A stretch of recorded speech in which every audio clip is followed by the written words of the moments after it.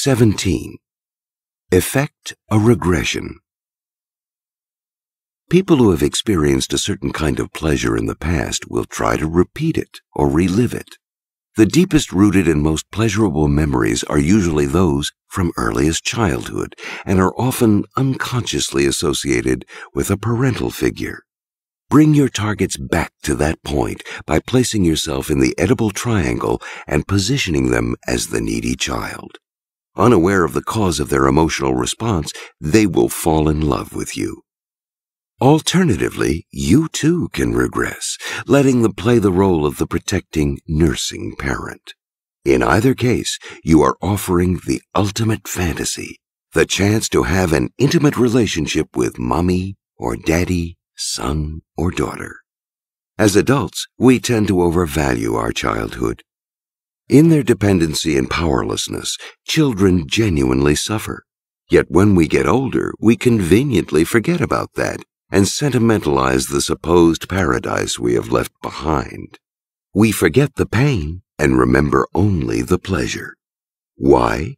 Because the responsibilities of adult life are a burden so oppressive at times that we secretly yearn for the dependency of childhood, for that person who looked after our every need, assumed our cares and worries. This daydream of ours has a strong erotic component for the child's feeling of being dependent on the parent is charged with sexual undertones. Give people a sensation similar to that protected, dependent feeling of childhood, and they will project all kinds of fantasies onto you, including feelings of love or sexual attraction that they will attribute to something else. We won't admit it, but we long to regress to shed our adult exterior and vent the childish emotions that linger beneath the surface. Early in his career, Sigmund Freud confronted a strange problem. Many of his female patients were falling in love with him. He thought he knew what was happening. Encouraged by Freud, the patient would delve into her childhood, which of course was the source of her illness or neurosis. She would talk about her relationship with her father, her earliest experiences of tenderness and love, and also of neglect and abandonment. The process would stir up powerful emotions and memories. In a way, she would be transported back into her childhood. Intensifying this effect was the fact that Freud himself said little and made himself a little cold and distant, although he seemed to be caring. In other words, quite like the traditional father figure. Meanwhile, the patient was lying on a couch in a helpless or passive position, so that the situation duplicated the roles of parent and child. Eventually, she would begin to direct some of the confused emotions she was dealing with toward Freud himself. Unaware of what was happening, she would relate to him as to her father. She would regress and fall in love. Freud called this phenomenon transference, and it would become an active part of his therapy. By getting patients to transfer some of their repressed feelings onto the therapist, he would bring their problems into the open, where they could be dealt with on a conscious level. The transference effect was so potent, though, that Freud was often unable to move his patients past their infatuation. In fact, Transference is a powerful way of creating an emotional attachment, the goal of any seduction. The method has infinite applications outside psychoanalysis. To practice it in real life, you need to play the therapist, encouraging people to talk about their childhood. Most of us are only too happy to oblige, and our memories are so vivid and emotional that a part of us regresses just in talking about our early years. Also, in the course of talking, little secrets slip out. We reveal all kinds of valuable information about our weaknesses and our mental makeup, information you must attend to and remember. Don't take your target's words at face value. They will often sugarcoat or overdramatize events in childhood. But Pay attention to their tone of voice, to any nervous tics as they talk, and particularly to anything they don't want to talk about, anything they deny, or that makes them emotional. Many statements actually mean their opposite. Should they say they hated their father, for instance, you can be sure that they are hiding a lot of disappointment, that they actually loved their father only too much and perhaps never quite got what they wanted from him. Listen closely for recurring themes and stories. Most important, learn to analyze emotional responses and see what lies behind them.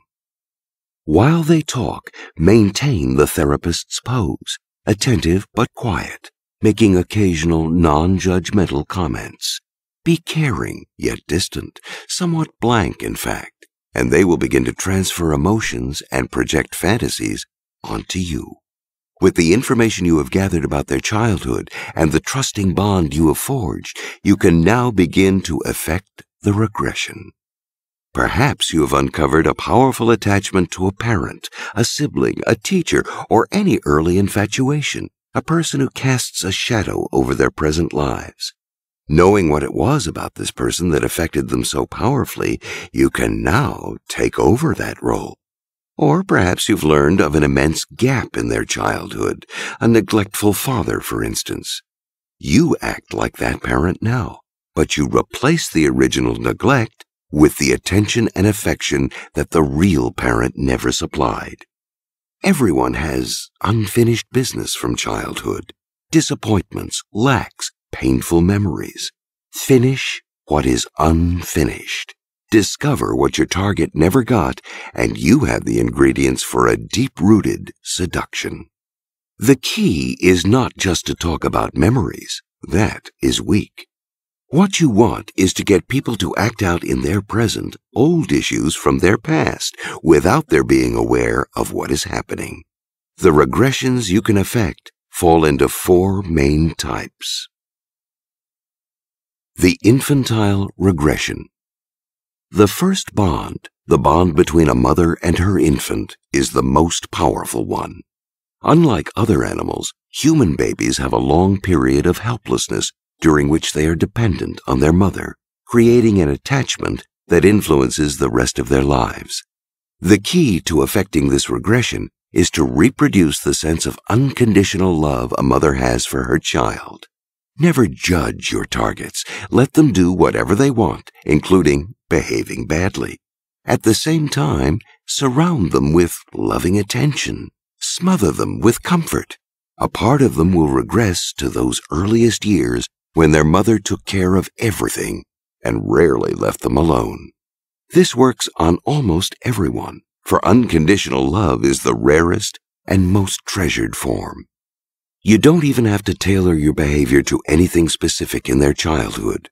Most of us have experienced this kind of attention. Meanwhile, create atmospheres that reinforce the feeling you are generating warm environments, playful activities, bright, happy colors. The Oedipal regression. After the bond between mother and child comes the Oedipal triangle of mother, father, and child. This triangle forms during the period of the child's earliest erotic fantasies. A boy wants his mother to himself. A girl does the same with her father, but they never quite have it that way for a parent will always have competing connections to a spouse or to other adults. Unconditional love has gone. Now, inevitably, the parent must sometimes deny what the child desires. Transport your victims back to this period. Play a parental role. Be loving, but also sometimes scold and instill some discipline. Children actually love a little discipline. It makes them feel that the adult cares about them. And adult children, too, will be thrilled if you mix your tenderness with a little toughness and punishment.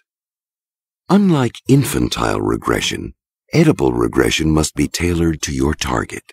It depends on the information you have gathered.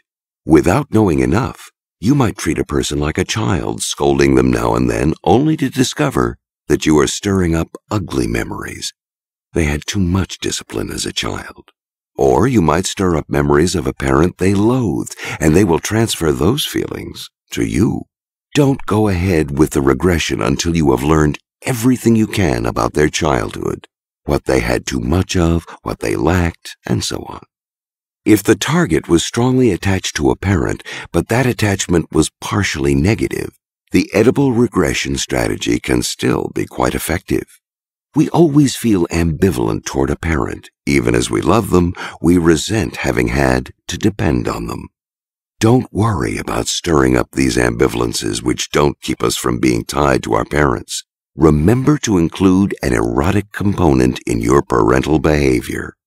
Now your targets are not only getting their mother or father all to themselves, they're getting something more, something previously forbidden, but now allowed. The ego ideal regression. As children, we often form an ideal figure out of our dreams and ambitions. First, that ideal figure is the person we want to be. We imagine ourselves as brave adventurers, romantic figures. Then, in our adolescence, we turn our attention to others, often projecting our ideals onto them. The first boy or girl we fall in love with may seem to have the ideal qualities we wanted for ourselves, or else may make us feel that we can play that ideal role in relation to them. Most of us carry these ideals around with us, buried just below the surface. We are secretly disappointed in how much we have had to compromise, how far below the ideal we have fallen as we have gotten older. Make your targets feel they are living out this youthful ideal and coming closer to being the person they wanted to be, and you will affect a different kind of regression, creating a feeling reminiscent of adolescence. The relationship between you and the seduced is in this instance more equal than in the previous kinds of regressions, more like the affection between siblings. In fact, the ideal is often modeled on a brother or sister. To create this effect, strive to reproduce the intense, innocent mood of a youthful infatuation. The reverse parental regression. Here, you are the one to regress. You deliberately play the role of the cute, adorable, yet also sexually charged child. Older people always find younger people incredibly seductive. In the presence of youth, they feel a little of their own youth return. But they are in fact older, and mixed into the invigoration they feel in younger people's company is the pleasure of playing the mother or father to them. If a child has erotic feelings toward a parent, feelings that are quickly repressed, the parent must deal with the same problem in reverse.